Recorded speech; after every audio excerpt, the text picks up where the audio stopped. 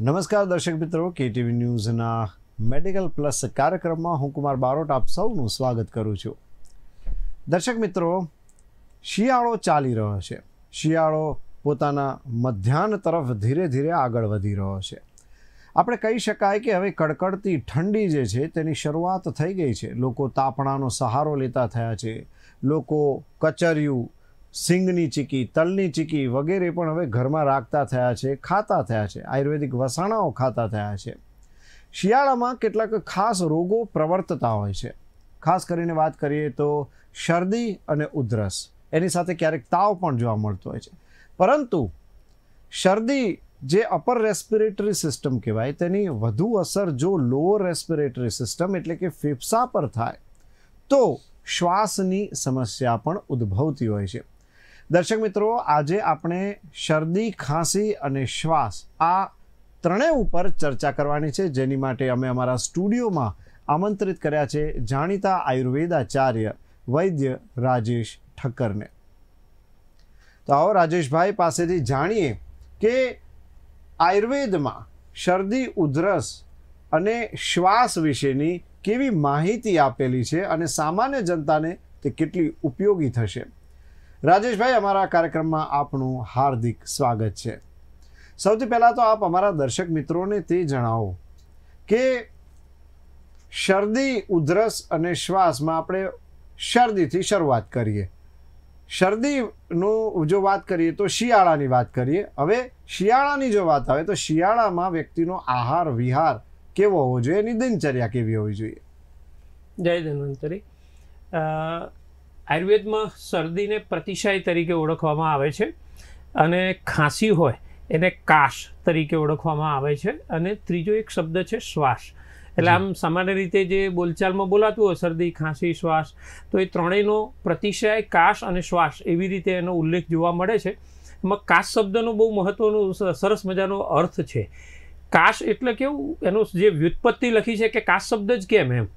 તો કાંસુ નામની જે વન ધાતુ છે ને જે એની થાળી હોય અને એના ઉપર તમે આમ ચમચીથી મારો અને હા એની ઉપર જે અવાજ આવે અને એ જે ઉત્પન્ન થાય ને એ જે અવાજ હોય ને એવો ખાંસીમાં અવાજ આવે. એની ઉપરથી એનું નામ કાશ કાશ્ય નામની જે વનસ્પતિ ધાતુ છે એના ઉપરથી એને તોડવા એની ઉપર મારવાથી જે અવાજ ઉત્પન્ન થાય એને ખાંસી જેવો હોય છે. એક ખાંસી કહેવામાં આવે છે. બિલકુલ બિલકુલ. સરસ એનો ઉલ્લેખ પણ જોવા મળે છે ને એના અનેક. પ્રકારો ને બધું પણ વર્ણન કરેલું છે.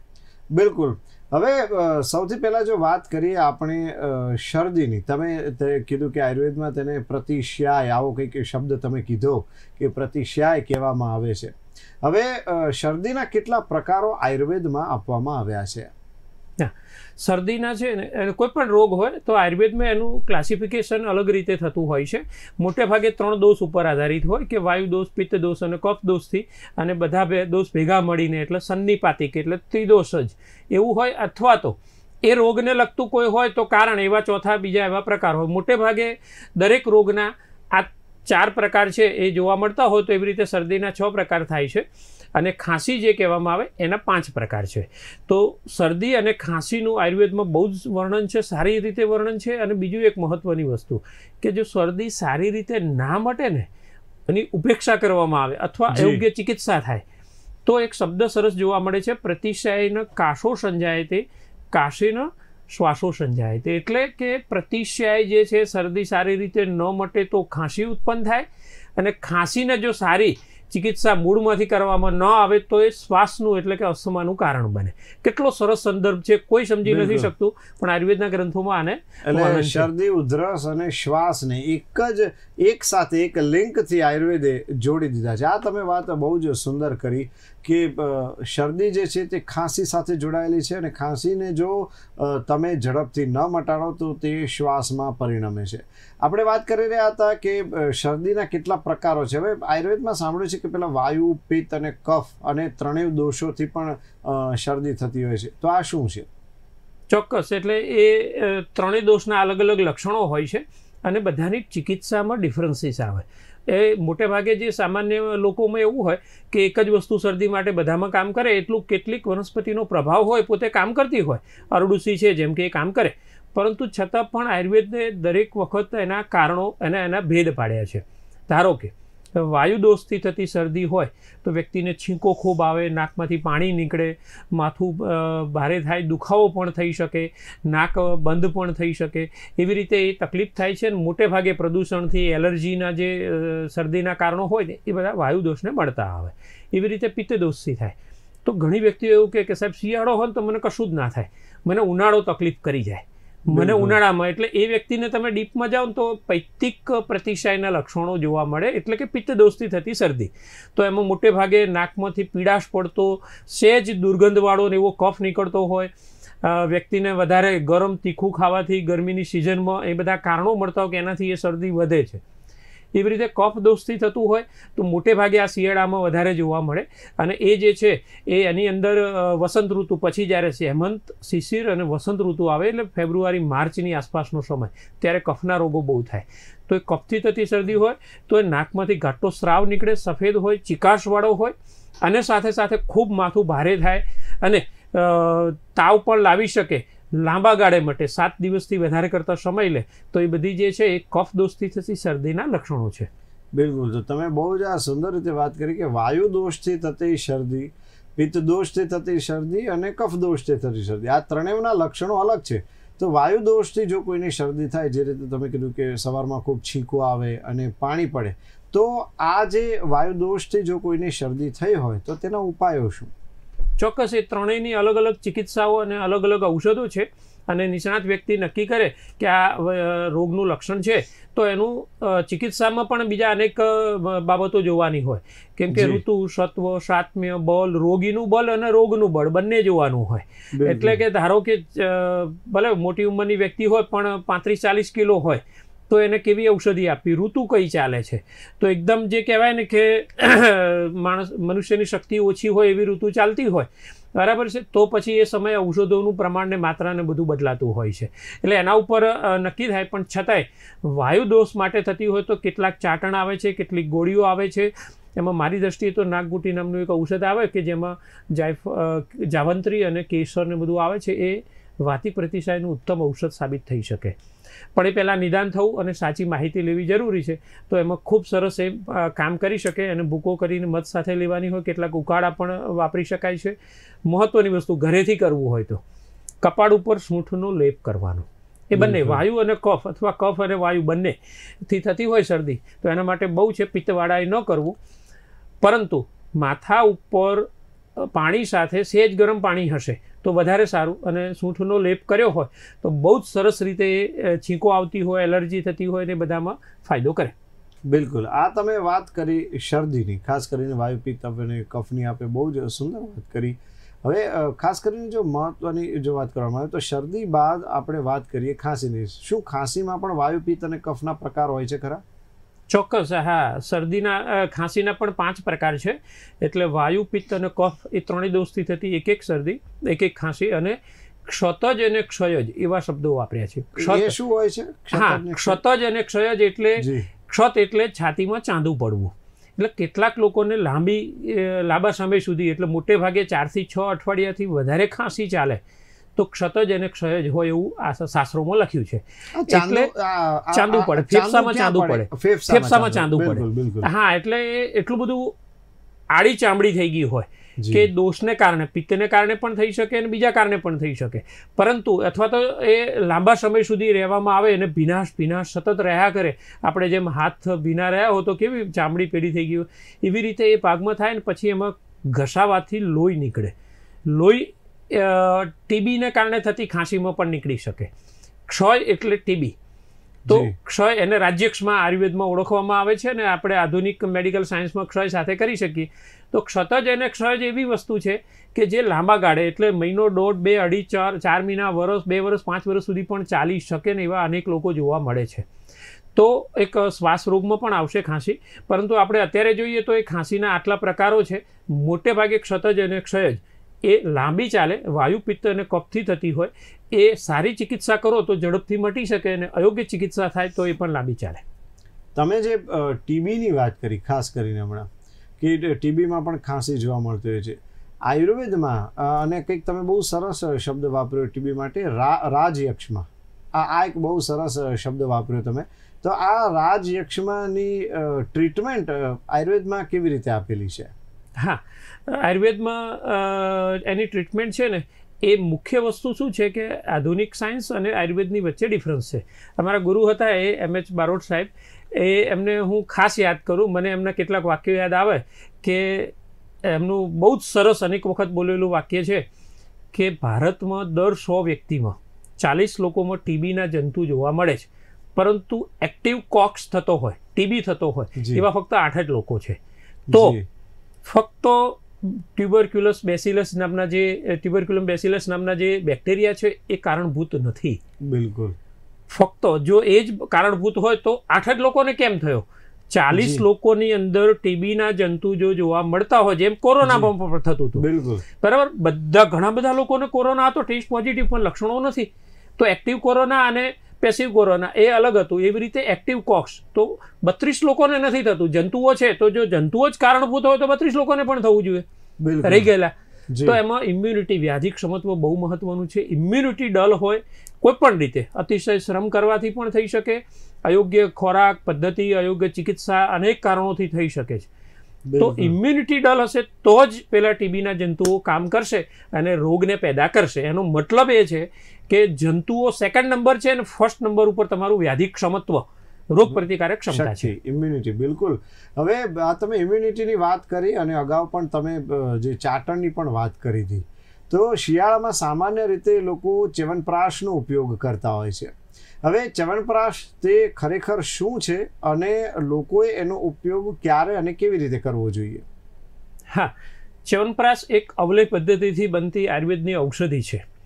અવલેહ એટલે ચાટણ જેને લેહ કરી શકાય. લેહ એટલે ચાટવું સંસ્કૃતમાં. તો જેનો અવલેહ એટલે એવી વસ્તુ એવી જેમ અત્યારે સિરપ બને ટેબ્લેટ બને કેપ્સ્યુલ બને લોશન બને એવી રીતે આયુર્વેદની એક પોતાની પદ્ધતિ છે. અનેક એવી ઔષધિ કલ્પનાઓ લખી છે. એમાં અવલેહ એટલે જેમાં સાકરનો પાક થાય.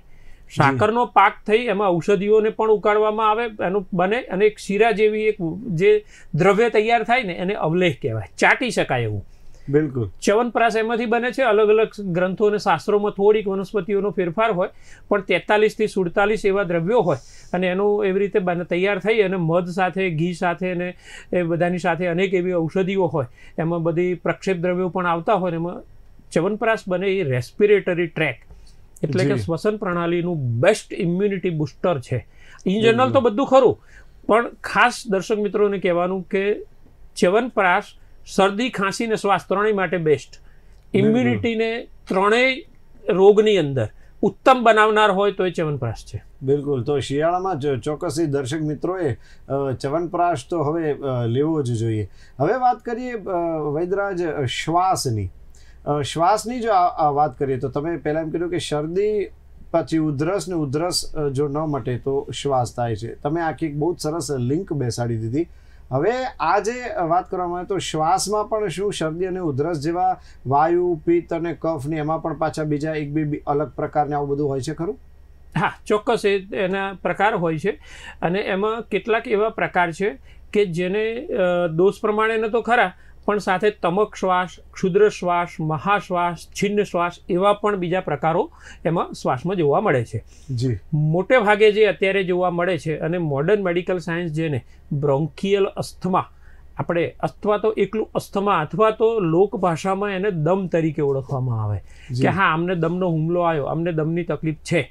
તો એ જે દમ તરીકે શ્વાસ તરીકે જે છે ઓળખાય છે આયુર્વેદમાં પણ શ્વાસ છે પણ એનું નામ જોવા જઈએ તો તમક શ્વાસ છે. તમક શ્વાસ એ અત્યારે જોવા મળતા પંચ્યાસી ટકા લોકો જે છે, એ એની સાથે મળતા આવે છે.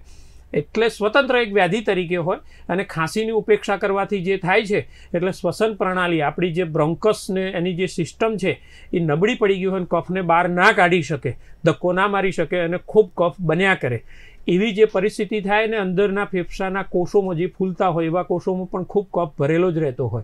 સામાન્ય આમથી વિપરીત પરિસ્થિતિ પ્રદૂષિત વાતાવરણ ઠંડુ પાણી વગેરે સામાન્ય કારણો પણ મળે. તો પણ તકલીફ કરે અને અસ્થમાનો એટેક આવી શકે. અને એ હુમલાના સ્વરૂપમાં હવે વેગ પ્રધાન વ્યાધિ આયુર્વેદમાં કીધું છે. વેગ પ્રધાન એટલે કેવું? જેમ એક દર્દી હોય અને વાયનો દર્દી હોય તો વાયનો હુમલો આવે ને પછી એ ઠીક થઈ જાય. પછી સામાન્ય હોય એવી રીતે શ્વાસનું પણ મોટે ભાગે એવું જોવા મળે. બહુ વધેલા રોગમાં કાયમી હોય, પણ મોટે ભાગે શ્વાસ હુમલાના સ્વરૂપે આવે, વેગ સ્વરૂપે. અને એ સમય થાય એટલે કેટલાક દિવસો, બે, ત્રણ, પાંચ દિવસો, દસ દિવસો એ હેરાન કરનારા હોય, પછી પાછો શાંત થાય અને પાછો કેટલાક દિવસ કે કેટલાક મહિનામાં ફરીથી હુમલો આવે. બિલકુલ. તો આ તમે બહુ જ સારી વાત જણાવી. અસ્થમા વિશે ખાસ કરીને આયુર્વેદમાં એને તમક શ્વાસ કહેવામાં આવે છે. તે કદાચ દર્શક મિત્રોએ આજે પહેલીવાર જાણ્યું હશે. હવે બીજા જે શ્વાસના પ્રકાર છે, તેમાં અને તમક શ્વાસમાં શું ફરક હોય છે? તમક શ્વાસ છે એ પોતાના સ્થાનિક કારણોથી થતો, સ્થાનિક વિકૃતિને કારણે છે અને બીજા બધા જે છે ને, એ અન્ય શરીરના રોગો, અવયવો અને એની સાથે સંકળાયેલો ક્ષુદ્ર શ્વાસ છે. તો ક્ષુદ્ર શ્વાસ એટલે કેવું કે કોઈ વ્યક્તિને હિમોગ્લોબિન ઘટી ગયું છે, રક્તની કમી થઈ ગઈ અને છ કે સાત હિમોગ્લોબિન છે, તો એને શ્વાસ ખૂબ ચડશે. ક્ષુદ્ર એટલે અન્ય નાના નાના એવા કારણો કે જે આમ મોટા પણ હોઈ શકે. પરંતુ બીજા કારણોથી થાય છે. ફેફસાનું પોતાનું ખરાબી નથી. અને કેટલાક એવા મહાશ્વાસને છિન્ન શ્વાસ જે છે એ તો મૃત્યુ સમયે થતા હોય છે. તો એ એ જે કન્ડિશન છે એ તો બહુ રેર જોવા મળે. રૂટીન દિવસોમાં જોવા ના મળતી હોય. પણ એ. મૃત્યુ સૂચક અને મૃત્યુને જ કરનાર હોય એ સમય ઉત્પન્ન થતા હોય એવા શ્વાસ છે. તો મોટે ભાગે તમક ક્ષુદ્ર એ બધા જોવા મળતા હોય છે. એટલા માટે એમાં મહત્વની વસ્તુ એ છે કે અન્ય કારણોથી થતું હોય તો એ વૈદ્ય નક્કી કરવાનું છે કે એને કયા કારણોથી. ધારો કે હૃદય નબળું પડ્યું છે. હૃદયનું પમ્પિંગ પંદરથી અઢાર ટકા થઈ ગયું છે. તો પણ એ વ્યક્તિને શ્વાસ ચડે છે. એટલે એને પહેલાના સમયમાં એને કાર્ડિયક અસ્થમા તરીકે પણ ઓળખવામાં આવતું. અત્યારે એનું ક્લાસિફિકેશન બદલાયું છે. પણ કાર્ડિયક અસ્થમા તરીકે શ્વાસ ચડે છે પણ એ ફેફસાનું નહીં પણ હૃદયનું કારણ છે. હૃદયની નબળાઈનું છે હૃદય પોળું થયું છે આવા કારણોથી શ્વાસ ચડે તો એ પણ બની શકે છે. અચ્છા, કોઈ વ્યક્તિને દાખલા તરીકે શ્વાસની જે રોગ છે તમે જે વાત કરી, તેની શરૂઆત હોય, તો શરૂઆતમાં શું કોઈ વ્યક્તિ કોઈ ઘરગથ્થુ ઉપાય અપનાવી શકે ખરો? ના, મારી દ્રષ્ટિએ એવું છે કે શરદીમાં કદાચ પ્રાથમિક ઉપચારો આપણે અપનાવી શકીએ. એમાંથી ખાંસીમાં જો કન્વર્ટ થતું હોય, તો એમાં પણ અપનાવી શકાય છે. પરંતુ એ ખાંસીને તમે ખાલી દબાવી દેશો અથવા પ્રાથમિક ઉપચાર, કોઈ પણ મોડર્ન મેડિકલના ઉપચારો કરીને એને કફને તમે દબાવી દેશો તો અત્યારે સારું લાગશે, પણ ભવિષ્યના મોટા રોગની તૈયારી હશે. તો મારી એવું સૂચન છે કે શ્વાસ હોય તો નજીકના વૈદ્યને મળવું શક્ય બને ત્યાં સુધી. અને એ આખી ચિકિત્સા કરાવી એ ઉત્તમ છે, પણ છતાંય શ્વાસ માટેના કેટલાક ઔષધો જે છે, એ બહુ જ સારા ઉપયોગી સાબિત થઈ શકે છે. એમાં કેટલીક વનસ્પતિ પુષ્કર મૂળની હું વાત કરું સોમલત્તા નામની એક વનસ્પતિ છે, એની વાત કરું. તો એ સોમલત્તાનું જે સોમકલ્પ ચૂર્ણ તરીકે ઓળખાય, એવી રીતે પુષ્કર મૂળ ચૂર્ણ ઓળખાય છે. એ આખા ફેફસાને રિજુવેનેટ પણ કરી શકે અને ન્યુમોનિયાની કન્ડિશનને બદલી શકે. પલ્મોનરી ફાઇબ્રોસિસ કુંવરભાઈ એમાં એટલું બધું આ ગંભીર પરિસ્થિતિ છે કે લોકોને હવે ખબર પડી કોરોનામાં કે ફાઇબ્રોસિસ નામની કોઈ કન્ડિશન હોય. મેં મારી છવ્વીસ વર્ષની લાઈફમાં કોરોના પહેલાં સો જેટલા દર્દીઓ પલ્મોનરી ફાઇબ્રોસિસના જોયા. એક મિનિટ ઓક્સિજન વગર ના ચાલે. જેમ સામાન્ય ફુગ્ગો હોય અને આમ ફૂલતો હોય ને એ જૂનો થઈ ગયેલો હોય ને એની ફૂગવા ફૂલવાની ક્ષમતા ક્ષમતા. એક્સપાન્શન કેપેસિટી જ્યારે ઘટી જાય અને એ જે છે ફાઇબ્રો ફાઇબ્રોટિક થઈ ગયા હોય ટીસ્યુઝ બધા. અને એલ્યુઓલાઈ જે છે ફૂલી જ ના શકે. એટલી બધી ખરાબ કન્ડિશન હોય. તો એ કન્ડિશનની અંદર ઓક્સિજન વગર ચાલે જ નહીં. કેમ કે હવા બાવીસ ટકા ઓક્સિજન છે. તો તમે લો ત્યારે બધે બધું એમાંથી ઓક્સિજન નથી મળવાનું. પણ એ વ્યક્તિની તો કેપેસિટી જ નથી ફૂલવાની તો કઈ રીતે એટલું લઈ શકશે? એટલા માટે એને બહારથી જરૂર પડે. આ કન્ડિશનને આયુર્વેદ બહુ સારી રીતે કરી શકે ને મેં એવા કેટલાય દર્દીઓ જોયા છે કે જેને ઓક્સિજનમાંથી આમ ચોવીસ કલાકના ઓક્સિજનમાંથી બહાર કાઢ્યા હોય. એ આયુર્વેદની ઔષધોના પ્રતાપથી. બિલકુલ રાજેશભાઈ આ તમે ખબર ખરેખર આજે વાત કરી છેલ્લે પલ્મોનરી ફાઇબ્રોસિસની કે તેમાં કેટલી હદે ખરાબ થઈ જતી હોય છે પરિસ્થિતિ છેલ્લે અમારા દર્શક મિત્રો માટે કોઈ સંદેશ. ચોક્કસ. ખાંસી માટે જો ઔષધો હોય તો એક કંટકારી એટલે બોરિંગણી કહેવામાં આવે છે. બીજું એક બેહડા છે અને અરડુસી છે. ત્રણ બહુ જ સારા છે. યષ્ટી મધુ તરીકે લોકોમાં બહુ જ પ્રચલિત હોય એવું જેઠી મધનું લાકડું મોઢામાં રાખીને ચૂસો. આવું સરસ મજાનું કહેવાતું હોય. એટલે જેઠી મધમાંથી બનતી યષ્ટી મધુ ઘનવટી નામની ટેબ્લેટ આવે. યષ્ટી મધુનું ચૂર્ણ તમે ચાટી શકો છો. બીજું કાળા મરી પણ સારા છે. પિત્તદોષવાળાએ ન લેવા વાયુ કફવાળાએ જે છે ને કાળા મરીનો ભૂકો કરી સાકર કે મધ સાથે ચાટી જાઓ ને તરત ખાંસીમાં મિનિટોમાં મિનિટોમાં તમને ફાયદો કરી શકે. અરડુસી પણ એવું ઔષધ છે. સરસ મજાનું ખાંસીનું ઔષધ છે. અરડુસી તો આપણા અનેક લોકોને હવે તો ઘરે ઘરે બધાને ખબર છે. એના દસથી પંદર પાંદડાને ક્રશ કરી રસ કાઢો અથવા એને ઉકાળીને પી જાઓ તમે. તો બહુ જ સરસ ફાયદો કરી શકે. આવી રીતે બહેડાની છાલ છે એ પણ ચૂસી શકાય. અને એવી રીતે અનેક ઔષધો આમાં શરદી ખાંસીના માટેના ઉપયોગી છે કે જે વનસ્પતિ સ્વરૂપમાં છે ને આપણે એને દરરોજ વાપરી શકીએ છીએ. બિલકુલ વૈદ્ય રાજેશભાઈ તમે અમારા કાર્યક્રમમાં આવ્યા અને અમારા દર્શક મિત્રોને જે માહિતી આપી તે બદલ અમે આપના આભારી છીએ. જય ધન્વંતરી જય આયુર્વેદ. તો જોયું ને દર્શક મિત્રો વૈદ્ય રાજેશ ઠક્કરે આપણને શરદી ઉધરસ અને શ્વાસ આ ત્રણેય રોગો વિશે કેટલી સચોટ માહિતી આપી. ઘરગથ્થુ ઉપાયો તો ઘણા બધા હોઈ શકે, પરંતુ જો આવી કોઈ પરિસ્થિતિ ઊભી થાય, તો નજીકના વૈદ્યને જઈને જો તમે મળશો અને યોગ્ય માત્રામાં દવા ક્યારે અને કેટલી લેવી તે સમજી લેશો, તો ચોક્કસપણે તમારું જે આવનારા દિવસોમાં જે મેડિકલ બિલ જે છે તે ચોક્કસ રીતે ઝીરો થઈ શકે તેમ છે. તો દર્શક મિત્રો, હાલ બસ આટલું જ. ફરી મળીશું એક નવા વિષય સાથે. ત્યાં સુધી રજા આપશો. નમસ્કાર.